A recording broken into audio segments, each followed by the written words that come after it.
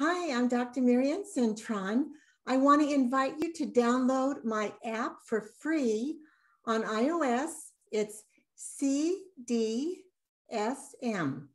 It stands for Cintron Dyslexia Solutions with Music. We're still waiting for Google to get it updated for free, but you can download it for free um, up to three lessons on Google at, until um, Android until Google's ready. But iOS, it's available up to 10 lessons. So download the app, CDSM. And I wanted to take you through four steps of my reading program, if I could. A lot of people are asking, what is your program about? So I have nine easy steps, and I want to show you the first four. So we start with our phonogram cards. So the student just says the sounds. G, K, A, E, T, D, J, I, A, B. Hold on there. H, K, M, N, er, p, x, v, w, and z. So with the student I'm working with now, I'm going to be adding extra cards um, because as we read in, um, in my phonics reader, new sounds are introduced. So there's different sounds that the student is um, learning in one session because the synapses have already been fired. We're just refiring those synapses. A lot of times kids that come to me third, fourth, fifth grade, they've learned stuff already. They're just not understanding it. They've been introduced to it. So this is how we build phonemic awareness. That was step one. Step two is we use sound circles. So there's um, these little circles that have two sides and I use a, a rectangle, a sound rectangle. So I'm gonna pull my uh, board down, my laptop down. So the first word I would teach is, well, we're in exercise two. So what I always do is I have the student repeat the word and then we tap it out with our fingers and then we pull the sounds down. So at first, we substitute the beginning sounds and then we bring a new word. And every time we bring a new word, we tap it out with our fingers. And I'll show you how that looks. So the word is link. Repeat link. Then we go ul, e, n, k, link. But I also share that nk, we say it together. So let's do it again. Ul, e, nk. That's how we teach link. So now we're gonna pull the sounds down for link. We're gonna go ul, e, unk. Okay, so when we point to it, ul, e, unk. What that's doing, a consonants are pink and the vowels are orange. So the student repeats after me, link becomes pink.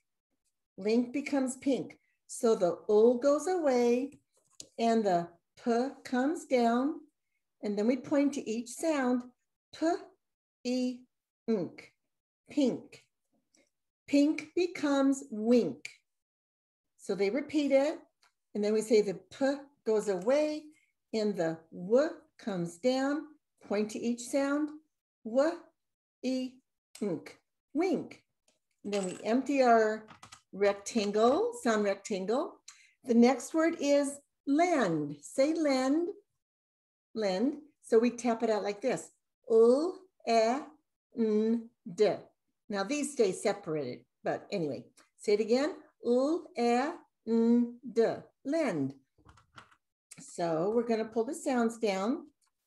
Ul, e, n, d. And then we point to the sounds. U, e, n, d, lend. Lend becomes bend. And the child repeats, lend becomes bend. So the u goes away and the b comes down.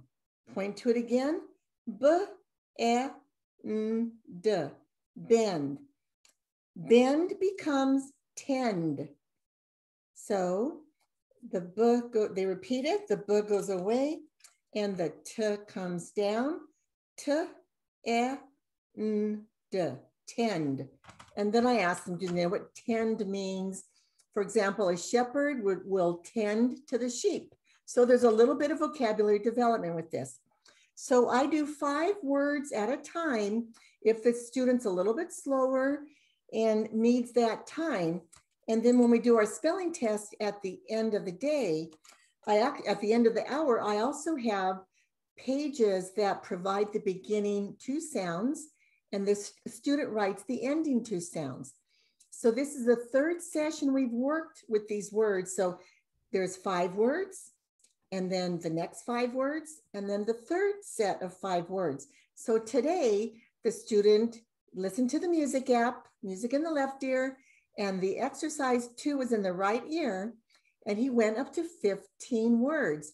And I provided the first two sounds. He provided, he wrote the last two sounds, but oh my gosh, his self-esteem really improved.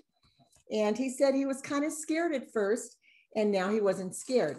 So step three, we use my plastic letters that I order, and I personally paint all the vowels black.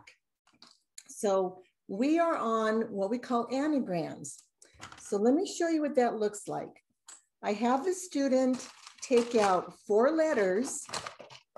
And so I say, take out a P and an N and an I and an S. So I tell the student the letters out of order and I tell them this is going to create four different words. So if the student struggles, we'll let them know that the vowel will typically go second. So what word would that be? Pins. Okay. So if they get stuck again, usually this little student was pretty sharp. He put that in the front and he spelled spin.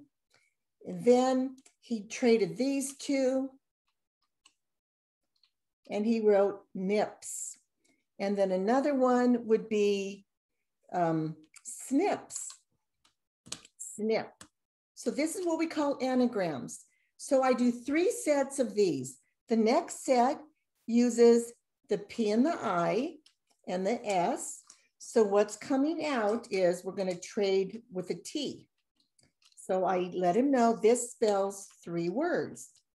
So he might struggle a little bit. So let's go back to the vowel being second. Let's put a consonant. And a lot of times the S means plural, so it's going to be at the end. So he spells pits, P-I-T-S. Then I remind him that the S can also be, well, let's, let's just swap the two consonants. And then you have tips, okay? And then often the S is part of a blend consonant team. So we would have, if that's not a word, we could put the S with another consonant. So we have S-P-I-T. And so there we have three words. And then the, the last one I do, I so I do three sets. We're going to take the vowel e, I out and put A. Okay. And we keep all that. We have, um, and then let me see, S, oh, I'm sorry, we take the T away, we have SL. Okay, so these are the new letters. So with the vowel being second, let's see what he comes up with. Let's put the consonant first. Let's put that S in the end. So he will have pals. And then let's trade our consonants, keeping the S at the back. And we have laps. Now let's put that S in the front because we like to see S with our vowel, our consonant team a lot. We have slap, And then this bright student actually came up with Alps. I'm climbing the Alps next week. So those are the anagrams. And then the last, well, the fourth step is really fun. It's when I read, do the phonics reading. So you need, we use the music at this point. And I'm going to show you one of the pages. I'm going to share my screen. And this is one of the pages the student reads while they listen to music in the left ear. So bet, we're, we're gonna have some visual and auditory discrimination. And I'm, I love this. So we're gonna say bet, belt, met, melt, sit, silt, wet, welt, sand, sad, sand, bed, bend, bad, band, fed, fend, kit, kilt. So from my reading with Patricia Cunningham, she used to like to see the words come together like this. And it makes sense. Here is ram at a P, ramp. Cap at an M, camp. Bum, bump. Pup, pump. Lap, lamp, hum, hump, lip, limp, lead, lend, lad, land. And then here's some more visual and auditory discrimination. And remember, when they're listening to classical music in the left ear, it really helps their auditory processing when they read this. So we have hut, hunt, cat, can't, bet, bent, set, sent, lit, lint, wet, went, but, bunt, hit, hint, pat, pant. So I wanted to share that because I don't know other programs doing that. And I'm going to teach you more about what I do in my reading program. This uh, Friday on the 28th from 2 to 3, I'm going to be uh, working with a speech pathologist, Maria Perkins Davis, and we're going to do an um, do a nice hour and a half webinar. So tune in, and you'll get CE units for it. You could submit your hour to get some credit. I'm so excited, and I just want to invite you to that. So I hope these first steps, one through four, answer a lot of questions for you and let you know how easy it is to actually teach reading with a little bit of training. I've lowered my initial training to $97 and you have to see my package. So go to my website, dyslexia-solutions.com. I'm giving a real special price right now for the whole kit. And then of course, I'd love you to send your students to me so my team can help with the tutoring. But I give you a couple of options at a very affordable price. So visit my website, and we'll talk to you soon. See you Friday. Bye bye.